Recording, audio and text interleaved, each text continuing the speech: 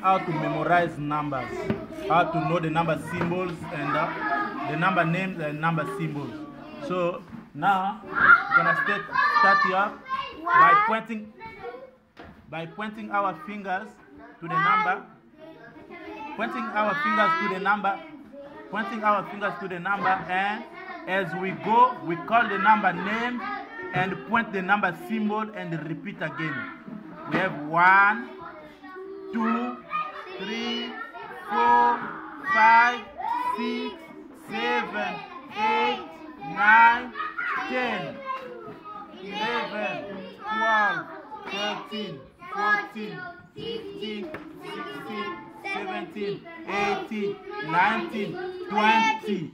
So now to memorize the number symbol, what number is, and we start with 10.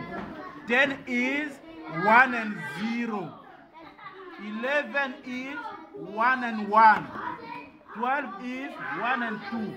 13 is 1 and 3. 14 is 1 and 4. 15 is 1 and 5. 16 is 1 and 6. 17 is 1 and 7. 18 is 1 and 8. 19 is 1 and 9. 20 is 2 and 0. 21 is 2 and 1. 22 is 2 and 2. 23, uh, 3, 2 and 3. 24 is 2 and 4. 25 is 2 and 5. 26 is 2 and 6.